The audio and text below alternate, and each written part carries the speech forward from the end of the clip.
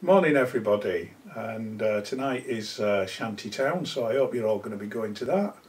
Uh, promises to be a good evening, and uh, maybe I'll see you there. But I just wanted to have a quick word about uh, Pleasurama and uh, filming at council meetings again, and uh, Victoria Pavilion. So, so let's start with Pleasurama.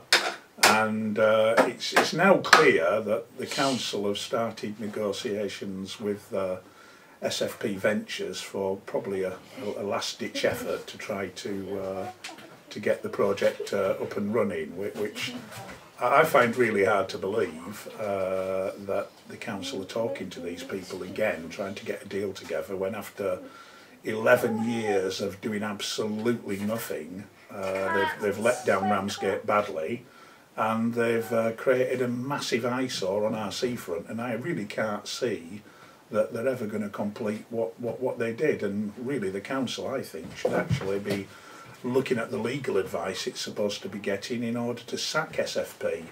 Uh, to put things uh, quite crudely, uh, I, I believe this company's taken the piss out of uh, Thanet Council and uh, out of the people of Ramsgate, the way it's treated that land and done absolutely nothing over this long period of time, it doesn't really inspire me with any confidence that they're going to do it this time. So we should be looking at stopping the project, sacking SFP and its associates, and uh, looking for, for, for another use of that land on the basis of public consultation with local people. It's nonsense to try to make something that's so patently broken work.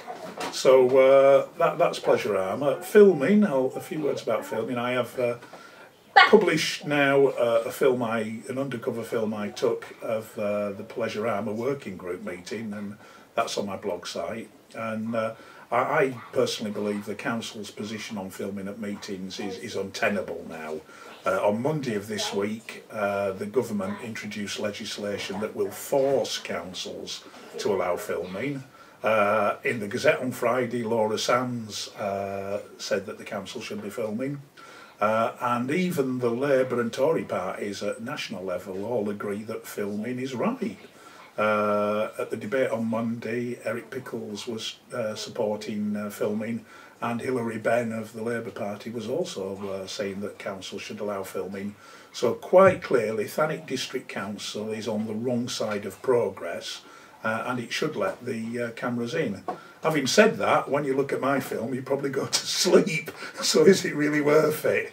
But yeah, I mean, it's all about accountability. It's all about transparency, uh, and people should be allowed to film their councillors and their council officers at work uh, in order to cast some light on how the democratic process works or, or doesn't work, as uh, as it might be in in Thanet. So that's why I've done it. I'm sure there's going to be uh, one or two uh, howls of annoyance and, and so on about this, and probably some efforts to to uh, to discipline me. But how stupid will uh, will Thanet Council look when within probably less than a year they're going to have to do it anyway?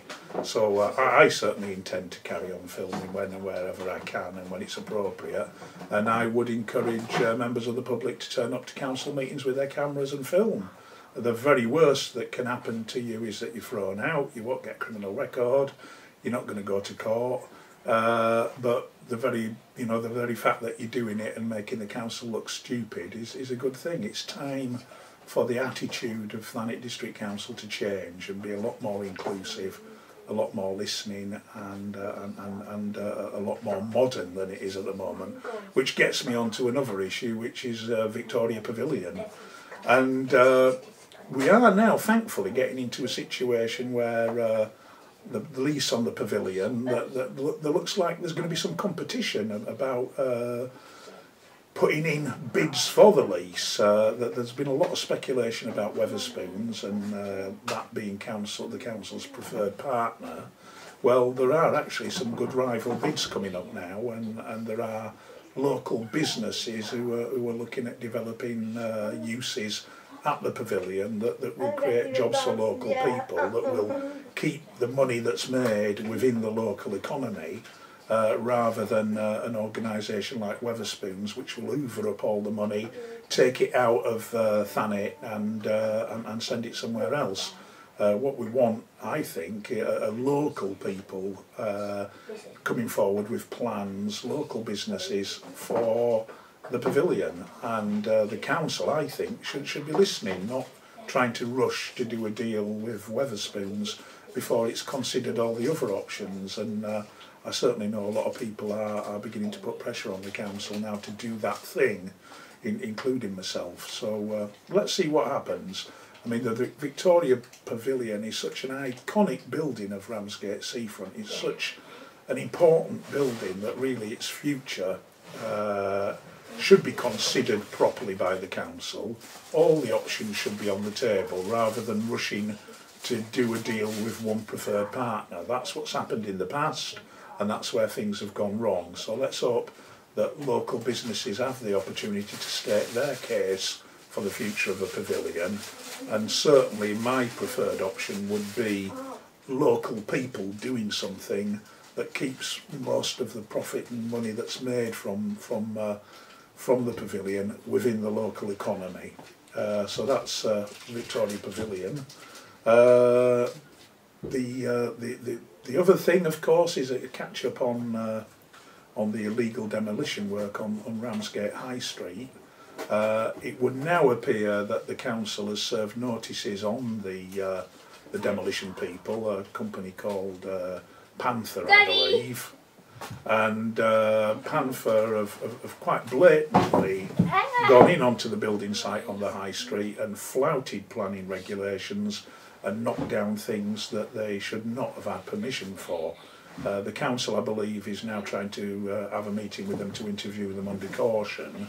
I'm also led to believe, uh, I don't know how true this is, but this is what people have told me, that the uh, demolition company Panther has also illegally interfered with uh, with, with uh, the electricity supply on the site and possibly the gas as well, leaving those in a potentially dangerous state.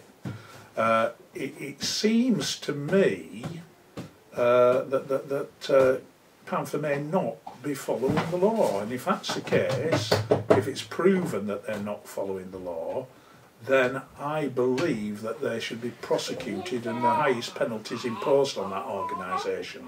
Because quite frankly, you can't have companies running around in Thanet, knocking things down and building things uh, without the proper permissions. It's just not on.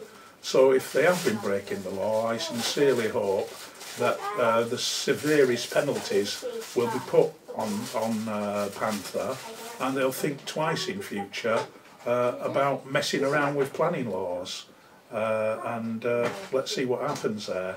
So I think that's my uh, my rant for the week. Sorry about all the background noise. I'm I'm looking after the kids today, and all being well, I might see some of you down at Shantytown tonight. So bye for now.